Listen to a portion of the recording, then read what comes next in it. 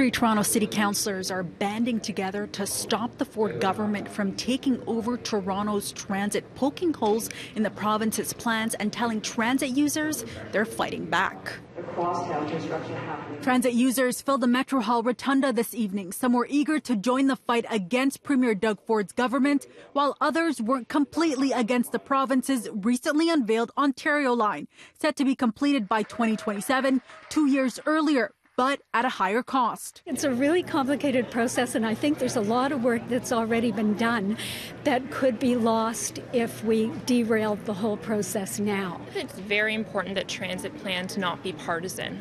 So just because this transit plan was proposed by the province does not necessarily mean it's bad. I think it's important that we keep an open mind. The province does not have a rich history of delivering subways. Um, they have very little history and uh, and proof of, uh, of delivery. It's actually the City of Toronto, and by way of the City of Toronto, it's the TTC that has built more subways in Canada, more delivery of subway and transit systems in Canada than anyone else, and certainly more than Doug Ford. On the eve of the province introducing legislation to upload the TTC, two other city councillors joined Kristyn Wong Tam tonight in the fight to get transit back in the hands of the city. Mike Layton. There's going to be three more years of delays. There's going to be no progress in any of our lines, and we're just going to keep uh, waiting unless we start to stand up. And Joe Cressy. The new plan from Doug Ford will never be built. We will spend three years studying it, only to find out that it doesn't work. These councillors call the project unrealistic, raising concern that little is known about the province's plans and if it'll even be fully funded.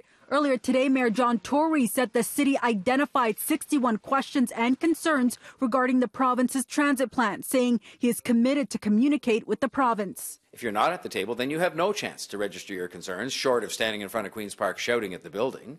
And so we're there discussing in earnest with the provincial government how we can all get transit built. Now, what we are seeing. It's an approach Councillor Wong Tam isn't on board with. The message to transit users to fight, build an awareness campaign, and show taxpayers if the province has its way, they'll be losing more than just control of transit in their city. I'm saying to Mayor Tory, he cannot do that. Uh, we need him to rise and be tougher. What's your approach? I think we have to, I mean, my, my caution to the mayor is you've already been mistreated. You, the, that the Premier has already disregarded everything that you've asked for, which includes deep consultation with the local community. Uh, City Council has already stated its position that we do not support a, a subway uh, upload, or I would say takeover. The head of the union that represents transit employees was also in attendance today, concerned that they haven't been consulted, also saying transit should be in the hands of the city. We would like a seat at the table uh, with the city of Toronto, with the provincial government, with federal government. We, we, we're a major stakeholder here. The Minister of Transportation was set to make an announcement on the Yonge North subway extension tomorrow at 10 a.m., but later this evening we received a message from his office telling us that would be postponed. For City News, I'm Faiza Amin.